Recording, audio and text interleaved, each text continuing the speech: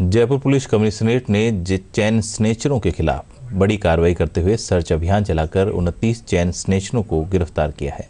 Police उपायुक्त अपराध doctor Amrita दुहान ने बताया कि आज सुबह जयपुर पुलिस कमिश्नरेट की टीम ने सुबह पाँच बजे पचपन सक्रिय चैन स्नेचर्स के ठिकाने पर दबिश देकर बयालीस अभियुक्तों को गिरफ़्तार में लिया। उनसे पूछताछ के बाद उनतीस अपराधियों को गिरफ़्तार और किया गया। अपराधियों से दस दुपहिया वाहन एक रिक्शा 17 मोबाइल फ़ोन और दो धारदार चाकू जब्त पाँच बजे से मामले में अनुसंधान जारी है और अपराधियों से कड़ी उनमें से। हमने 42 को पूछताछ के लिए हिरासत में लिया।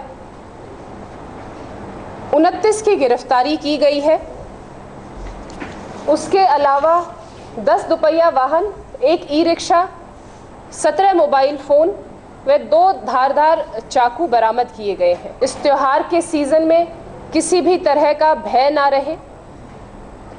वो जयपुर की सड़कों पर सुरक्षित घूम सके, महिलाएँ अपने आप को पूरा महफूज महसूस कर सकें और उनमें पुलिस के लिए एक विश्वास कायम रहे।